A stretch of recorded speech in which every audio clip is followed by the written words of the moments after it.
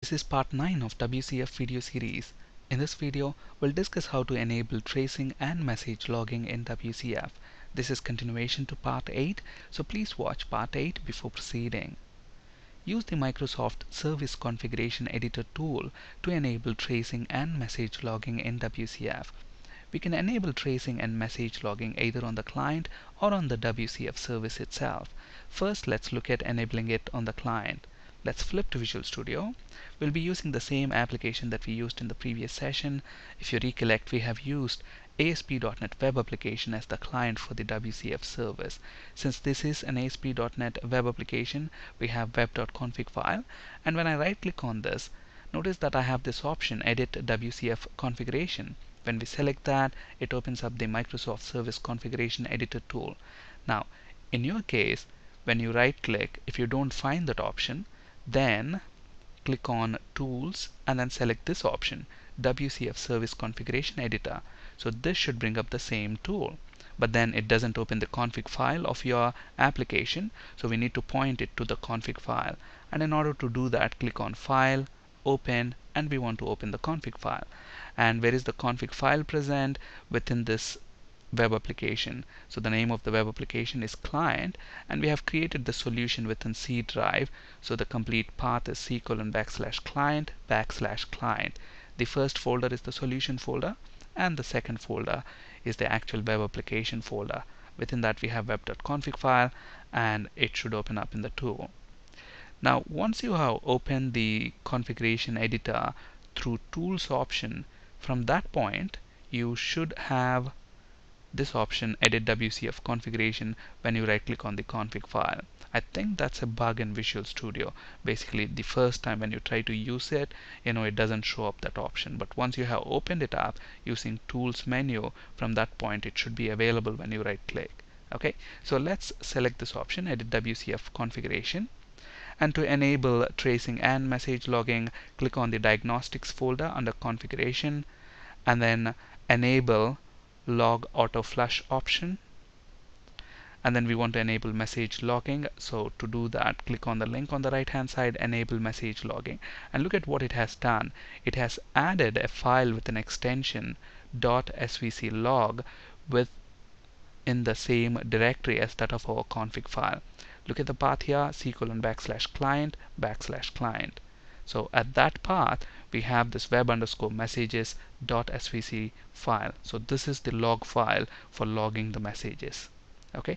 In a similar fashion to enable tracing click enable tracing. And the moment we do that there is another log file with the same extension um, basically to log the trace messages. Alright we need to do one more little thing expand this diagnostics folder under that. You should see message logging option. When you select that on the right hand side log entire message. By default this option is false. Turn that to true. And then close the tool itself. It will prompt you whether if you want to save the changes click yes. So what this has done is added the configuration uh, to the web.config file that's required to enable tracing and message logging. Look at this. Under configuration we have system.diagnostics element and underneath that we have a lot of configuration which basically enables tracing and message logging. Alright with this let's go ahead and run our WCF service. And then let's run the client.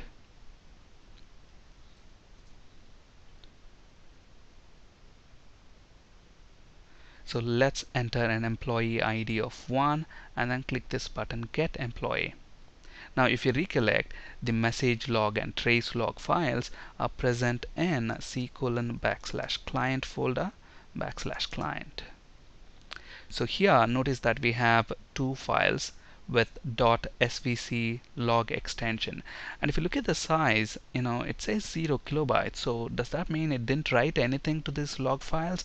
I think we need to refresh this folder. So let's go ahead and refresh that and look at that we have some messages there.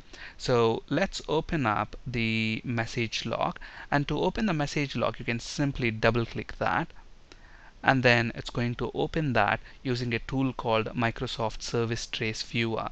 Now if you want to open this tool there are other ways as well. You can click on start get to all programs go to Microsoft Visual Studio 2010 and under Microsoft Windows SDK tools you should see um, service trace viewer there. And if you're looking for you know something to open it from the command prompt then get to Visual Studio command prompt. So under Visual Studio Tools you should see Visual Studio command prompt. There type svc trace viewer and then hit enter so that should bring again uh, the same tool okay? Or you can simply double click on the log file that has got that extension .svc log. It should automatically open with the tool. Alright so we have the tool there. And then uh, look at this. That's one of the traces. And this is the message log trace okay? Now let's look at this tab message tab okay? So both the request as well as the response are logged okay so this is the request message. And look at what we have sent as part of the request. There is a you know basically these are soap messages. So we have a soap envelope there. And within soap envelope we've got a soap header and then a soap body. And within the soap body we have got the employee ID that we have sent. Okay which is number one.